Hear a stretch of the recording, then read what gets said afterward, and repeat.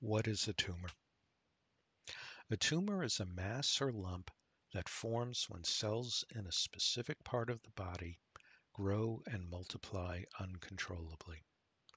Tumors are also called neoplasms, and you may hear your doctor use both terms interchangeably. Usually, the cells in our body grow, divide, and die in a manner controlled by the DNA within each cell.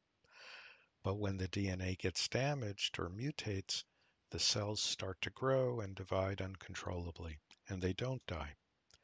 These masses of abnormal cells are what we call tumors. Let's talk about the important difference between benign and malignant tumors. Benign tumors are not cancerous. They can grow quite large, but they do not spread to other parts of the body. Benign tumors can cause problems by pressing against nearby tissues and organs, sometimes causing pain or other complications. Examples include fibroids in the uterus or lipomas under the skin.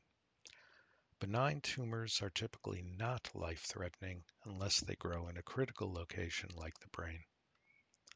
Malignant tumors are indeed cancerous.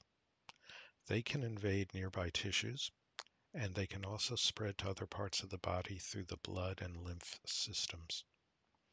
This ability to spread is what mainly distinguishes malignant tumors from benign tumors. Remember this, benign tumors stay where they are and malignant tumors spread or metastasize. Also, remember that not all cancers form tumors.